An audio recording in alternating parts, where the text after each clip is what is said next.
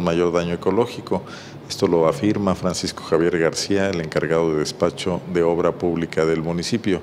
Señaló que originalmente iban a ser mil el número de árboles que sufrirían tala, sin embargo lograron modificarlo para reducirlo a 370 y que esto ya no se puede detener. Escuchemos.